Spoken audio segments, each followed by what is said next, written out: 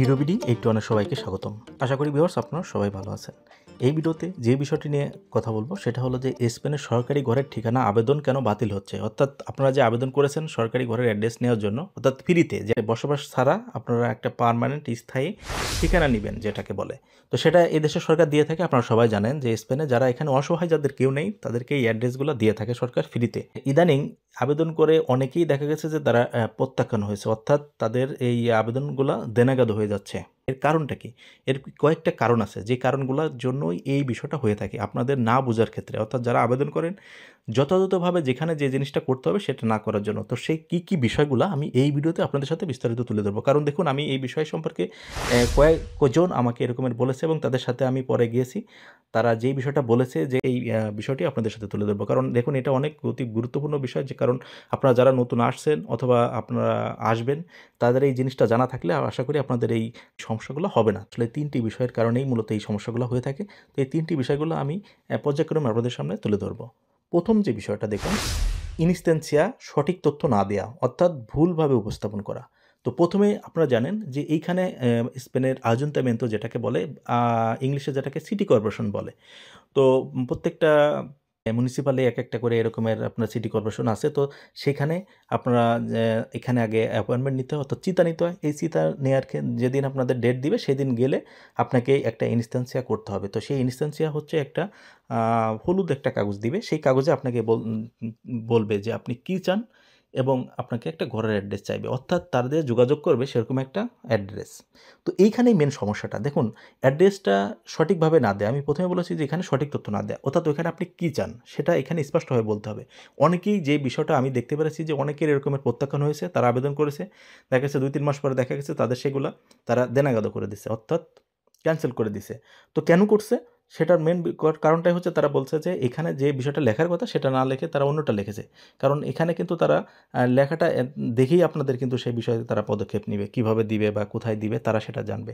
তো এখানে মেন যে বিষয়টা লেখা উচিত, যে এখানে আপনি যেহেতু চাচ্ছেন সিন ডমিছিল এখানে উল্লেখ রাখতে হবে। কারণ আপনারা যেদিন চিতা নিয়ে ছিল এখানে কিন্তু সিন ডমিছিল বলেই তাদের কাছে চিতা নিয়েছেন। তো সেই ক্ষেত্রে এইখানে আপনাকে ওই হলুদ কাগজে এটা স্পষ্টভাবে লিখতে হবে। কিরো উন পাদ্রনমিয়ন্ত সিন ডমিসিলিও ফিকো হ্যাঁ তো এই সিন ডমিসিলিও আপনাদের এখানে উল্লেখ করতে হবে। এই, এটার মানেই তারা বুঝবে যে আপনার এখানে কেউ নেই, তো বসবাস করার ছাড়া, অর্থাৎ আপনি সেখানে বসবাস করেন না, তারপরে আপনি একটা অ্যাড্রেস চাচ্ছেন এটার অর্থ এটাই বোঝায়। তো আপনাদের সেটা স্পষ্টভাবে এখানে লিখতে হবে। যদি আপনার এখানে সিন ডমিসিলিওটা উল্লেখ না করেন, তাহলে কিন্তু তারা এই জিনিসটা বুঝতে পারবে না।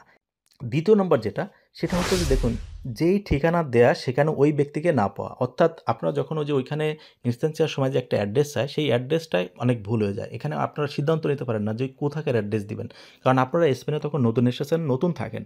তো কোথাকার অ্যাড্রেস দিবেন? দেখা গেছে যে আপনি প্রথমে সে এক জায়গায় আসেন আপনি সেই জায়গার অ্যাড্রেস দিয়েছেন।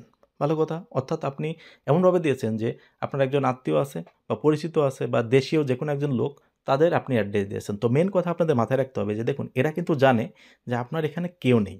আহ, প্রথমে তারা কিন্তু জিজ্ঞাসা করবে যে প্রথম গেলে তারা জিজ্ঞাসা করবে যে আপনি কেন চান? এই পাদ্রনিমন্ত কেন যাচ্ছেন?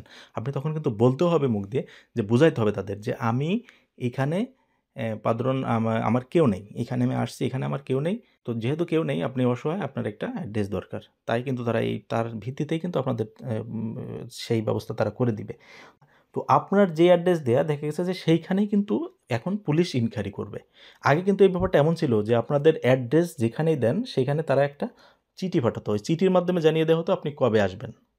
তো চিঠিটা পেলে তারপরে আপনাকে যেতে হতো, তারপরে তারা অ্যাড্রেসটা দিয়ে দিত। কিন্তু এখন কিন্তু পর্যায়ক্রমে এই ব্যাপারটা কিন্তু তার অনেক নজরদারি করছে, পর্যবেক্ষণ করছে, যাচাই বাছাই করে যে আসলে আপনার সঠিক তথ্য, আবেদনকারী সঠিক আছে কিনা বা আসলেও সে কোনো দুই নম্বরই করতেছে কিনা, এই বিষয়গুলো কিন্তু তাদের নজরে এখন যাচাই বাছাই করে। কারণ অনেক জিনিসই এখন আস্তে আস্তে অনেক করা হয়ে যাচ্ছে। আগে যেগুলো ইজিতে ছিল, এখন কিন্তু সেগুলো হচ্ছে না। কারণ স্পেনে প্রতিনিয়ত এরকমের অভিবাসী আসছে। তো তার কারণে কিন্তু তাদের এই পদক্ষেপগুলো নেওয়া তো দেখুন, যে বিষয়টা আমি বললাম যে দ্বিতীয় যে ঠিকানা দেয়া সেখানে ওই ব্যক্তিকে পাওয়া যাচ্ছে না। হয় কি? দেখুন মেন ব্যাপারটা যে আপনারা যে ঠিকানা দিয়েছেন, সেই ঠিকানা আপনারা আসলে থাকেন না। আপনারা থাকেন না। অথবা আপনারা যে ঠিকানা দিয়েছেন, সেই ঠিকানায় আপনারা থাকেন, কিন্তু আপনারা কাজে চলে যান। দেখা যায় যে সকালে আপনি কাজে যান, রাতে আসছেন। তো তারা যেই ইনকোয়ারিতে যখন সিভিল পুলিশ আসে, তারা দেখা যায় যে আপনাকে যে দুইবার গেছে প্রথমবার যে আপনাদের পিকা দিছে, আপনার ব্যক্তিকে পায় নাই। বা আপনি যে অ্যাড্রেস দিয়েছে ওই অ্যাড্রেসে এখন থাকেন না। অর্থাৎ আপনি পরিচিত একজনের অ্যাড্রেস দিয়েছেন, সেখানে আপনি থাকেনই না। তো আপনাকে পায় নাই। তো এরকমের পাওয়া না কারণে কারণ তারা কিন্তু যেই রিপোর্টটা দেয় যে সে এখানে থাকে না। আর দ্বিতীয়টা হলো যে আপনি যদি থাকেন, তারপরও আপনি সেই বাসায় নেই। অর্থাৎ আপনি আপনাকে পায় নাই। আপনি কাজে আছেন বা বাইরে আছেন। তো সেই ক্ষেত্রেও কিন্তু আপনাকে এখানে নেগেটিভলি তারা একটা ইনকোয়ারিতে তারা রিপোর্টটা দিয়ে দিবে যে কিন্তু আপনি যে অ্যাড্রেস দিয়েছেন, আপনাকে পাওয়া যায় নাই। রিপোর্টটা যদি চলে যায়, তারা নেগেটিভ হয়ে যায়, তাহলে কিন্তু আপনাদের রেজাল্ট রিপিউজ হয়ে যায়। এটা হচ্ছে দ্বিতীয় কারণ। আর তৃতীয় যেটা বলব, সেটা হলো যে যথাযথ কারণ না দেখাতে পারা।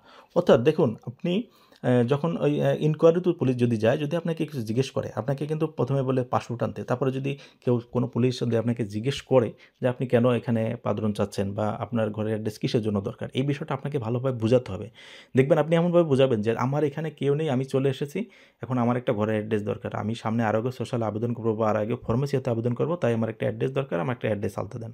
এটা কিন্তু ভালোভাবে বুঝাইতে হবে। যেহেতু আপনি নতুন, আপনি হয়তো ভাষা জানবেন না, সেই ক্ষেত্রে আপনাকে যারা ভাষা জানে বা এরকম একটা অভিজ্ঞ লোক আছে, তার দ্বারাই আপনাকে এই বিষয়টা বোঝাতে হবে।